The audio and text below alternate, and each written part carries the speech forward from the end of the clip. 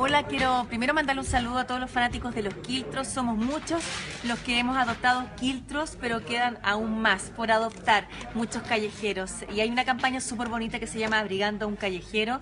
Entra al Facebook de Abrigando a un callejero, eh, puedes eh, conocer más datos sobre esta campaña y, que crezca cada día más eh, esta suerte de gran familia que ama a nuestros animales.